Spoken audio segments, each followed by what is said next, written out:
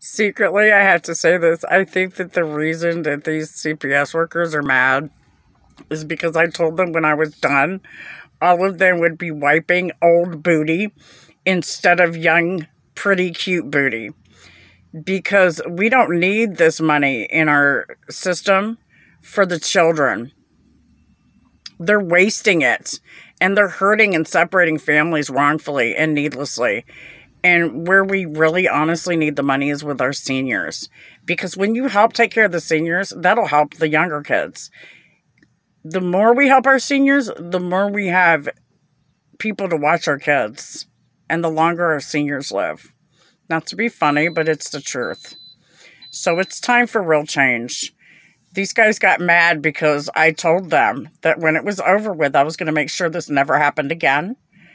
And that these CPS workers needed to be cross trained because they need to learn to wipe old booty as well as young booty. Because the old booty are the ones who wiped they booty with God's love. God bless America. Have a blessed day. And back the blue.